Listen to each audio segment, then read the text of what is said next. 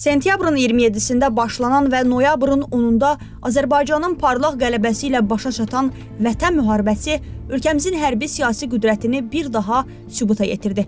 Prezident İlham Əliyevin prinsipiallıq, yenilməz iradə nümayiş etdirərək Azərbaycan xalqının milli maraqlarını qətiyyətlə müdafiə etməsi bu tarixi qələbəni şərtləndirən əsas amillərdən birinə çevrildi. Cənab Prezident Müzəffər Ali Başkomandanımız bütün dövrlərdə prinsipial mövqe nümayiş etdirərək, yenilməz iradə nümayiş etdirərək Azərbaycan xalqının milli maraqlarını hər zaman müdafiə etdi. Ermənistanın işğalçı dövlət olmasını bütün platformalarda e, təbliğ etməyə başladı.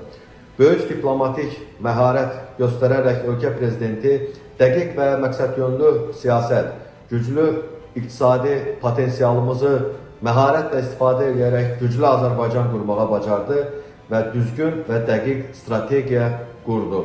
44 günlük müharibə müzəffər Azərbaycan ordusunun düşməni darmadağın etməsi, Ermənistanın ağ bayraq qaldıraraq təslim olması ilə nəticələndi.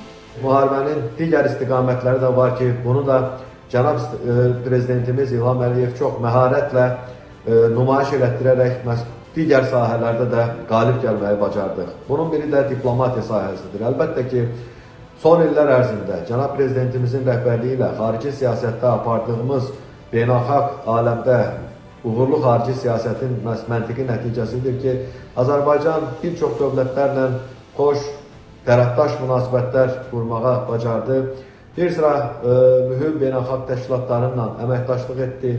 Cavid Osmanov Azərbaycanın həm diplomatik sahədə, həm də informasiya cəbhəsində qələbəsindən də danışıb. Qoşulmama hərəkatına ölkəmizin sədrlik etməsi və qoşulmama hərəkatının ə, e, Azərbaycanın bu haqq, ədalət içində Azərbaycanı dəstəkləməsi, o cümlədən elə 3-4 e, dekabrda BMT-nin xüsusi sessiyasının ölkə prezidenti cənab İlham Əliyevin rəhbərliyi ilə e, COVID-19-a qarşı mübarizə tədbirlərinin birgə həyata keçirilməsi e, əlbəttə ki, bizim diplomatik uğurlarımızdır.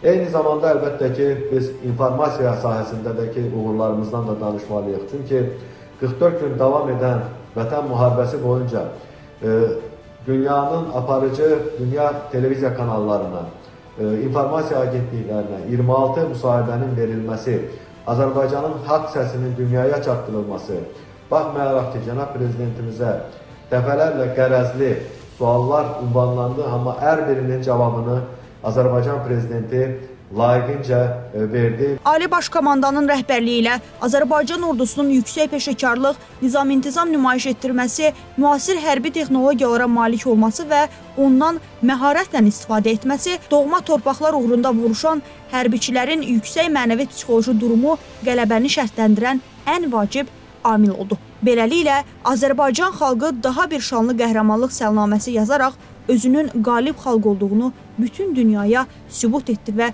düşmən üzərində tarixi zəfər çaldı. Minaya Zamanova, Müşfiq Tofiqoğlu, Baku TV.